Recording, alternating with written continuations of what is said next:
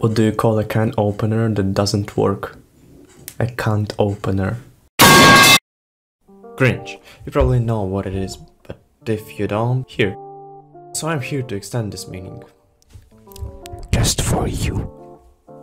But who asked, bro? After all, who is he, Mr. Cringe? Cringe is often the situation where you couldn't do something that you meant to do. For example, starting with common situation in bus, at least for me, when trying to sit on chair, you're just, you know, stuck in middle of sitting animation when someone is taking it from you, and you can't say, "Oh, sorry, Mister, I was about to sit here first, so please get the fuck out of." Uh, no, you just pretend that you meant to do so, and just keep standing, thinking about strangers' thoughts. Oh my god, he was trying to sit. Oh, he couldn't. But he is so introvertical to say something about it. Maybe he's dangerous.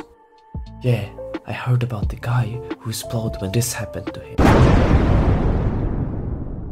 Hopefully that's relatable. The cringiest situation in my life was when I punched a girl on public during lesson in the first grade. But still, I remember as it was yesterday. I had bad relationships with my class, I was fed up about it, kinda nervous, you know, and I had no friends. Neither have no. I was sitting with random girl and trying to pay attention to the lesson, just normally, you know, when suddenly my pen disappeared. I started looking for it, but I couldn't find it anywhere. Like friends, right? So I politely asked a girl next to me if she saw my pen.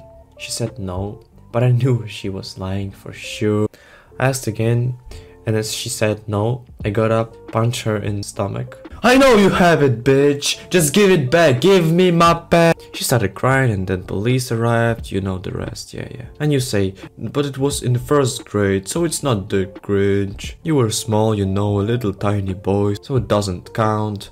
But if you think of it in more mature age, it's getting even cringier than it was in the first place. If you enjoyed the video...